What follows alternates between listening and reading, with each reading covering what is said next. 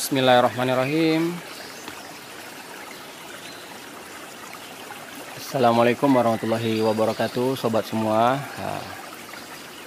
Kali ini hari Kamis ya Tanggal 2 Februari 2023 Kita buat laporan pelanggan Untuk Pak Nel. Ya, Pak Nel Diawan. Nah, Pak uh, Adapun treatment mobil yang akan kita lakukan Pak uh, Pertama itu servis berkala ya kemudian penggantian air radiator pak.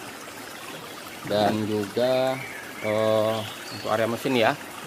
Dan juga ini pak. Nah, ini ada basa-basa oli. Ya ini ada basa-basa oli kita bongkar ini. Kemudian tutup ini kita lem lagi. Tapi cover ini pak kalau misalkan karetnya masih lunak berarti kita cuma lem ulang. Tapi kalau udah keras kita ganti yang ori pak kalau dapat. Nah kemudian nanti kita uh, buka intake ya pak buka intake biar lebih bertenaga lagi ya. Kemudian bersihkan lubang ini yang ada empat biji kita bersihkan. Kita lihat ya pak.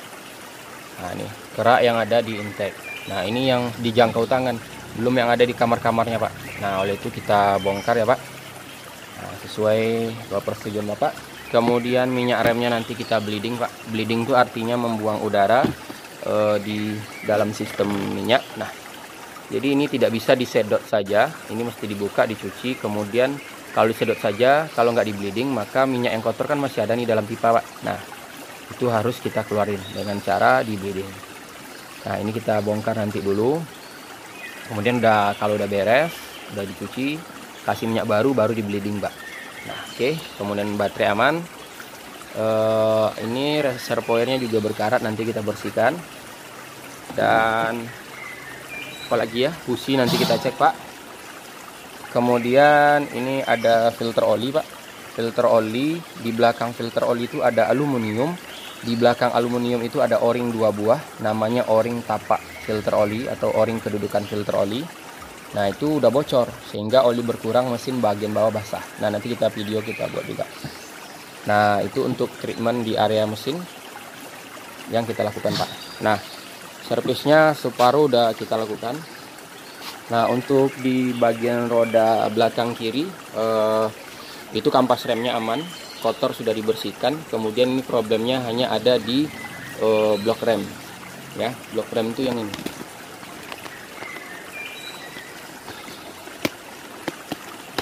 Bentar ya pak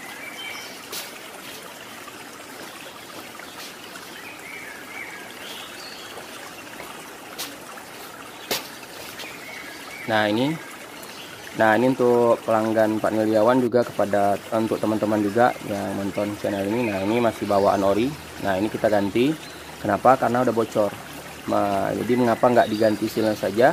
Karena di silinder dalam ini Dia kan silinder tuh ada karetnya. Itu udah luka ya. Udah terluka Udah bolong-bolong Takutnya nanti bisa rembes. Karena mobilnya akan menuju ke Sumatera Barat besok pagi. Oke Itu belakang kiri aman ban masih ragi tebal. Kemudian pak sobreker nah sobrekernya kan udah mati nih udah kita ganti. Bentar ya.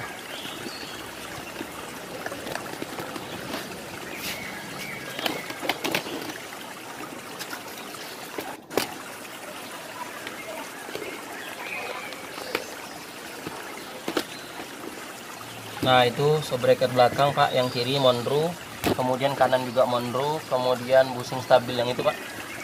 Nah, busing stabil tuh udah diganti juga ya pak. Nah itu untuk treatment di roda kiri. Roda kanan juga gitu udah diservis juga. Udah oke udah aman. Kemudian uh, ini adalah mounting transmisi pak. Udah putus pak. Nah makanya mobil kalau dibuat bergetar ini putus ya teman-teman. Kemudian ini basa-basa oli dari silpuli bocor kampas remnya masih oke. Okay. dan sesuai arahan dari bapak juga sobrekernya udah kita ganti pak. Kita menggunakan merek Monroe juga. Ini udah kita kasih bantalan kemudian per dari cuci kemudian ini karet buat diganti supportnya masih aman. Kemudian kampas rem depan yang kanan ini udah. Nah ini udah loyo sebenarnya tapi belum kocak. Insya Allah bisa didelay nah itu yang kanan. Nah gitu juga yang kiri. Nah yang kiri ini Nah ini pak karet bootnya yang pecah.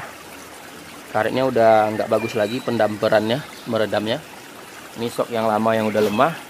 Nah ini yang sebelah kiri yang akan kita rakit. Nah ini juga kiri kanan pak. Linknya udah koyak karetnya udah kocak juga. Nah ini kita ganti pak. Akan proses. Kemudian itu untuk area uh, mesin ya. Sekarang kita masuk ke area uh, bagian kolong mobil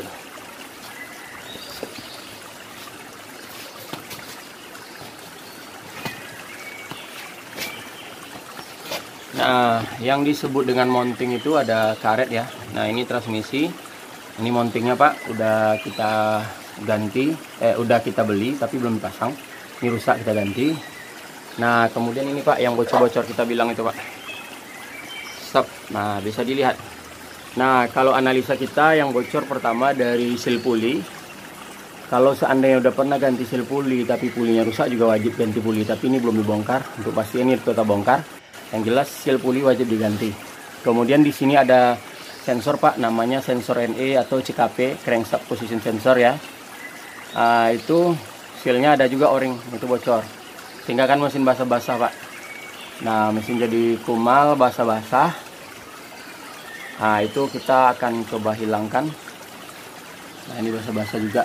Nah, mudah-mudahan cover temeng ini nggak bocor. Tapi treatmentnya dulu kita ganti seal puli kemudian puli rusak kita ganti o-ring ini kita ganti.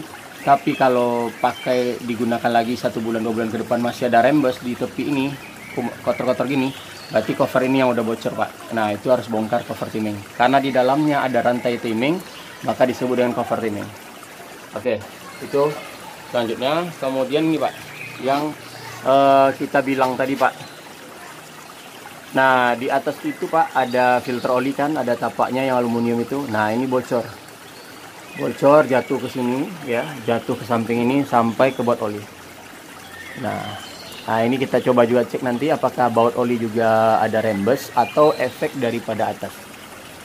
Nah ini udah mulai menetes nih parkirnya baru dua malam ya tiga malam di sini. Nah bayangkan kalau udah berminggu berbulan maka oli bapak akan berkurang. Oke pak itu kemudian di mobil terios ini pak ada juga kapak-kapak. Nah ini bahasa tekniknya lower arm. Nah ini ball joint lower arm sebelah kanan ini gemuknya udah meleleh. Namun dia belum kocak. Jadi nanti pada saat penggantian busing kita gemuk ulang. Dan ini busing kecilnya uh, belum retak putus semua ya. Baru berapa persen bisa kita pakai. Nah namun yang busing kapak-kapak itu kan ada dua pak. Yang besar sama yang kecil.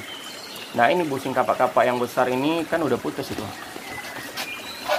Bentar ya pak. Nah ini. Kan udah putus. Saya zoom dulu. Oke ini dampak ya. Nah ini putus. Nah ini kalau di dealer biasanya ganti set nih tapi ini kita ganti di luar aja. Ya guys sekitar 150.000 ke bawah ini. Kita ganti yang kanan. Itu juga pak. Yang kiri lebih parah lagi pak. Nah yang lebih parah. Nah ini juga untuk teman-teman yang menonton juga bisa disimak nah kalau misalkan shock absorber baru namun e, busing ini tidak diganti udah kayak gini maka shocknya juga akan cepat rusak. Karena ini nggak ngeredam lagi sehingga peredaman tertumpu kepada shock absorber. Kepada ini. Nih. Nah peredaman tertumpu pada shock breaker ini. Nah supaya ini udah baru maka biar sama-sama baru dan biar awet juga kerja maksimal meredam maksimal maka ini kita ganti yang besar. Umumnya yang rusak sih area belakang daripada yang depan. Depan sudah ada gejala namun masih e, bisa kita pindah biasanya dua kali ganti ini baru kita satu kali ganti ini. Oke itu pak. Nah itu disebut dengan busing ya. Nah kalau busing kiri juga ada pak. Nah ini mesin ini ada bracket nah ini ada mounting. Nah ini mounting e, kiri nggak ada yang putus aman namun Pak, mounting kanannya juga putus Pak. Nah ini yang dibilang sakit ya, sakit tak berdarah ya. Nah bisa dilihat Pak. Nih Pak, nah, harusnya kan dia nyatu seperti ini Pak ya. Tapi ini tengok putus Pak ya, retak sampai atas. Udah putus lah bukan retak lagi. Nah sehingga saat akselerasi mendadak dia bergetar. Nah itu oh, problem ada pada mounting. Nah nanti kita ganti Pak. Barangnya udah kita beli Pak. Nah mungkin itu laporan Pak e, Sekian laporan dari kami dan juga untuk sahabat yang nonton Terima kasih Nah, itulah beberapa PR mobil Pak Neliawan. Oh, kemudian ditambah lagi Pak. Nah, tadi linknya Pak ya, linknya kan, yang linknya rusak. Nah, ini juga businya udah rusak, karetnya udah pecah. Atau ini bekas ganjalan, nah ini kita ganti Pak. Nah, insya Allah harganya masih murah. Kemudian ini kalau ganti ini yang kanan, ini yang kiri juga. Nah, dirasa itu uh, treatment yang akan kita lakukan dan butuh kesabaran dan waktu yang panjang. Nah, kemudian ada informasi, Pak. Nah, informasi uh, karena ini merupakan servis berkala ya, maka kita ceknya menyeluruh. Uh, mungkin Bapak pernah menabrak uh, sebuah lubang bisa jadi sehingga uh, busing sehingga link apa namanya lengan alin belakangnya penyok pak saya zoom dulu pak ya Bentar, sebentar pak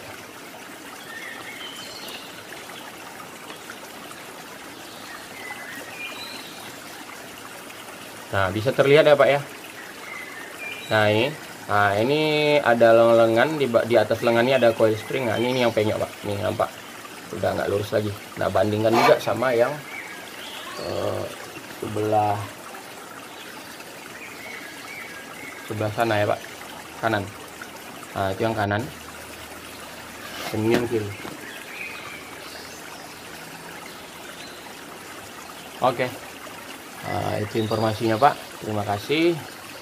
Uh, kami rasa cukup untuk sharingnya dan ini sebagai bukti uh, juga untuk Bapak dan perbaikan apa yang sudah dilakukan. Terima kasih. Uh, Assalamualaikum warahmatullahi wabarakatuh. Kalau teman-teman semua yang nonton suka video ini silahkan di like, komen, dan di share dan silahkan komentar-komentar positifnya ditunggu ya. Oke, terima kasih. Assalamualaikum warahmatullahi wabarakatuh.